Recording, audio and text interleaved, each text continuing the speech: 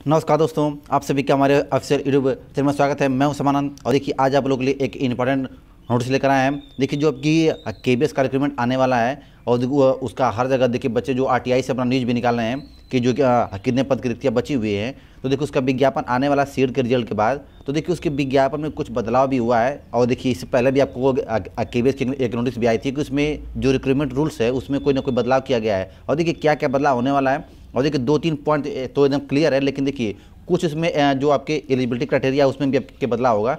और देखिए, पहला बदलाव क्या होगा कि जो कि जो बच्चे अब तक आपके सीट पास थे, जिनका आपका जिनका रिज़ल्ट आपका एक्सपायर हो गया था। क्योंकि देखिए सीट सात साल के लिए था, लेकिन आपके एनसीटी के नियम के अनुसार ना, अब उसको आजीवन कर दिया गया है। तो देखिए, जो पहले का जिनका सीट का रिज़ल्ट आपका जो पहले पास होंगे प्राइमरी या फिर जूनियर और देखिए, उनका एक्सपायर हो गया होगा ना उन लोगों को भी अलाउ कर दिया जाएगा टीचर बनने के लिए के में। देखिए, पहला बदलाव तो आपका ये होगा। और देखिए सेकंड बदलाव ये होगा। देखिए, जो आपका टीजीटी में आता है ना, कि, देखिए टीजीटी में कुछ आपके सब्जेक्ट के एलिजिबिलिटी ऐसा दिख रखा गया के में ना, कि जैसे हर बच्चा उसको फॉलो नहीं करता है। जैसे यदि मान लीजिए कि अगर एसएसटी की बात करेंगे तो देखिए जो एसएसटी में आपका के में यदि आपको टी का फॉर्म बनना है तो आपको एसएसटी में देखिए हिस्ट्री या फिर जोग्राफी आपको तीनों साल होना चाहिए।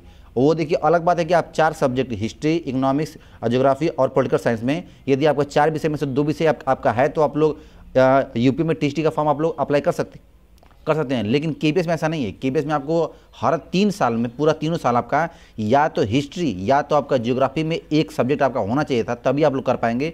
और वो और वो भी हर सब्जेक्ट में आपका, जैसे देखिए आपका हिस्ट्री तीनों साल है तो हिस्ट्री में आपका एग्रीगेट फिफ्टी परसेंट आपका नंबर भी होना चाहिए। और उसी प्रकार से ज्योग्राफी में भी है कि यदि आप तीनों साल किए अगर मान लीजिए कि किसी बच्चे का अगर तीनों साल हिस्ट्री नहीं है तो वो एसएसटी का फॉर्म नहीं भर पाएगा। यदि किसी का ज्योग्राफी नहीं है तीनों साल तो वो भी देखिए फॉर्म नहीं भर पाएगा एस का। देखिए, इसी प्रकार से उसमें इंग्लिश का भी रूल है, उसी प्रकार से आपका द मैथ साइंस का भी रूल है। तो देखिए, इसी में कुछ ना कुछ बदलाव किया जाएगा। और देखिए, जो आपका ये, देखिए, इस साल आप लोग को पता भी है कि देखिए, इस साल कुछ कुछ स्कूल में ऐसा हुआ है कि एग्ज़ाम नहीं कराया गया, बहुत सारे यूनिवर्सिटियाँ ऐसी हैं जो बच्चों को ऐसी ही प्रमोट कर दिए हैं। तो देखिए, उसमें बदलाव क्या होगा? जो आपका ये परसेंटेज है ना परसेंटेज आपके, देखिए, इसमें कुछ आपके कम हो सकते हैं। जैसे मान लीजिए कि अलग अलग सब्जेक्ट में कोई भी परसेंटेज न लगा के ओवरऑल आ लगाया जाए। देखिए के बी में क्या होता है ना कि जैसे मान लीजिए कि आप तीनों साल बीए पास किए हैं, या फिर बीएससी किए या फिर या फिर कोई भी डिग्री लिए हैं तो आपके हर साल जो आपका नंबर है वो आपका फिफ्टी परसेंट होना चाहिए। उसी को बोलते एग्रीगेट हर साल का। और देखिए, एक तो ओवरऑल तो आपका रहेगा ही रहेगा, लेकिन आपका हर साल भी होना चाहिए। तो देखिए, इसी नियम में बदलाव होगा कि जो आपका ओवरऑल फिफ्टी परसेंट आपका होना चाहिए। और न कि अलग अलग साल, क्योंकि देखिए, बहुत सारे यूनिवर्सिटी ऐसे थे इंडिया के जो कोरोना काल में बच्चों को ये प्रमोट कर दिए। और देखिए प्रमोशन कैसे किया गया, उनके पिछले रिज़ल्ट के आधार पर है। तो देखिए, किसी किसी का उससे कुछ नंबर कम हो गया, लेकिन ओवरऑल यदि रखा आ जाएगा। तो देखिए, बच्चे इसमें एलिजिबल हो जाएँगे। तो देखिए सेकंड बदलाव आपका ये होगा कि जो आपका एलिजिबिलिटी क्राइटेरिया होगी, इसमें आपके बदलाव होगा। और देखिए थर्ड आपका होगा ना, जो आपका देखिए सिलेक्शन प्रोसेस में होगा बदलाव। जिसे, देखिए देखिए, जिससे पहले केबीएस में क्या होता है कि पहले आपका एग्ज़ाम होता है, उसके बाद आपका इंटरव्यू होता है, ठीक है? देखिए इंटरव्यू आपका पंद्रह परसेंट होता है और एट्टी फाइव परसेंट आपका होता है एग्ज़ाम का। देखिए, इसकी आपको जो रेशियो ना, इसको आपको एकदम कम कर देगा। इंटरव्यू केवल आपका देखिए इंटरव्यू जो आपका एकदम बस केवल और केवल आपका क्वालिफाई नेचर में होगा, उसका नंबर नहीं जुड़ेगा।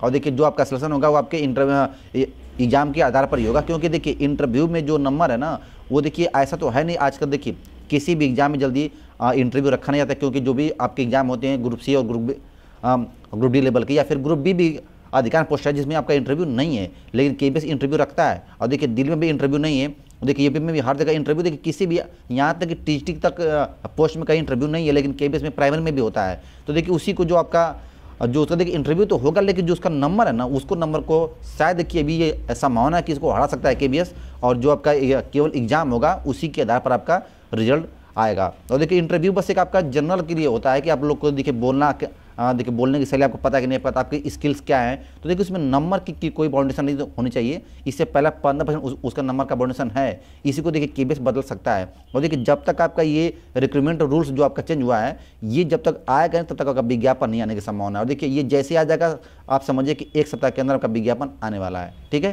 थैंक्स सभी को थैंक्स और देखिए देखिए, कोई भी इंपॉर्टेंट यदि नोट्स होते हैं तो देखो आप लोग को यूट्यूब हम ज़रूर आपको अपडेट कर देते हैं। और देखिए वीडियो को आप लोग लाइक से आप लोग ज़रूर करते रहेंगे, ठीक है? थैंक्स सभी लोगों को थैंक्स